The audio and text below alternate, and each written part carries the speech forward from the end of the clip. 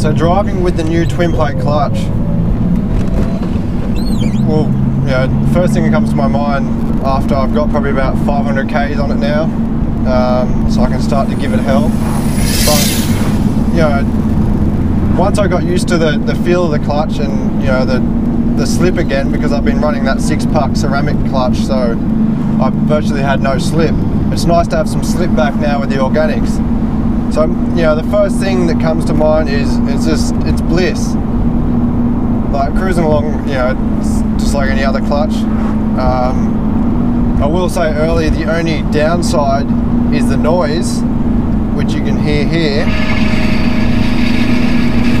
But that that's indicative of all twin plate clutches. So, so the way the way it feels basically, it's maybe about what the clutch is stock, or maybe a tiny bit lighter even. It's nice and springy. It's yeah, the, the, the setup with this is really nice.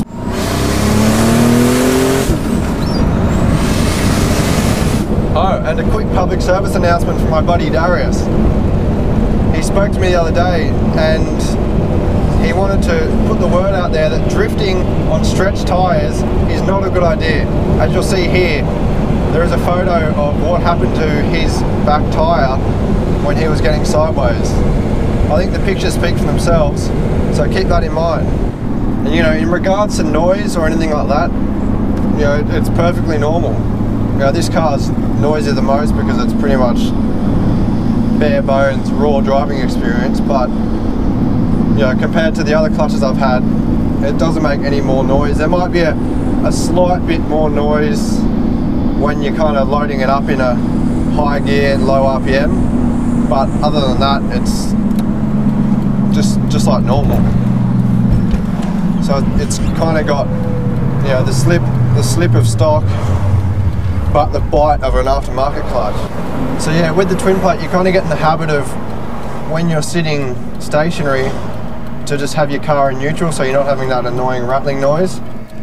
So I'll give you a quick demo of what it's like taking off.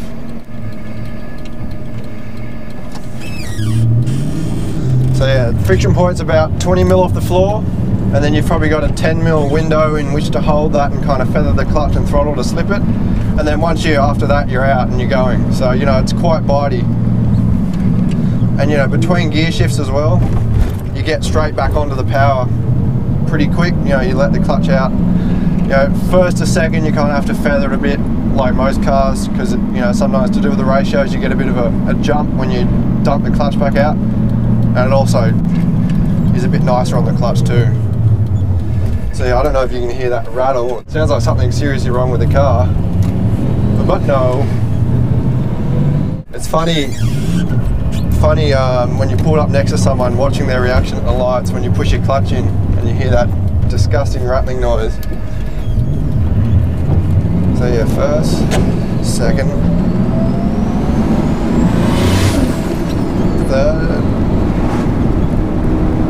so unfortunately I can't go too hard on this box because those of you that know the T5 and what power they're kind of rated to, I'm about double that and it's still holding up but I have to baby it. So, you know, one day I will be going to a fully built T5 most probably.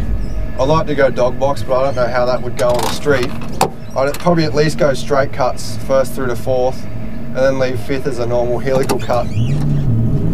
But I think I think I probably will end up just going normal beefed up synchronizers, etc.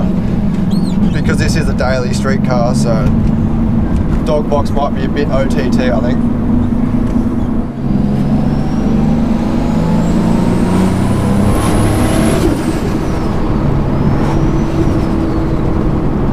That turbo just sounds so amazing.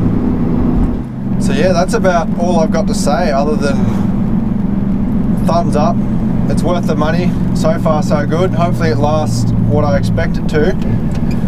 And if it keeps going this way, I'll be happy with it for a long time. So also, if you like my videos, make sure you subscribe and stay tuned for more. Um, you know, this year might hopefully start doing a fully built motor for the Subi. Uh, I've got a meth meth injection set up to finish installing on this. Um, I've got to hit the dyno again, and you know, you never know, and a new gearbox might be in the equation soon too.